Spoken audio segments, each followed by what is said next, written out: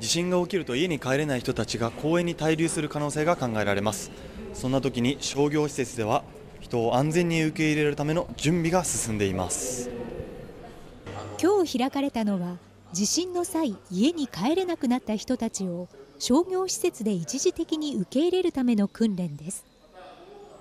2011年の東日本大震災では首都圏を中心に公共交通機関が完全に停止。およそ520万人が帰宅困難となりました。この訓練には商業施設の関係者などおよそ70人が参加。班に分かれて施設にひび割れなどが生じていないかなど受け入れ前の安全点検や備蓄品の運搬方法の確認。またテントや段ボールのベッドなど避難所の設営を行いました。段ボールベッドを作ってくださいって聞いた時ここまで難しいと思ってなかったんで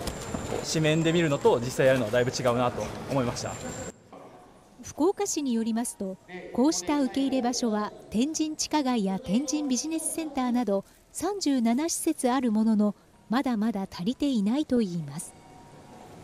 天神エリアあの今後どんどんあの開発が進みます。安全安心に働いていただきたい。安全安心に来ていただいて楽しんでいただきたい。というものがありますのであのそこをですねあのより下支えさせていただきたいなというふうに考えております。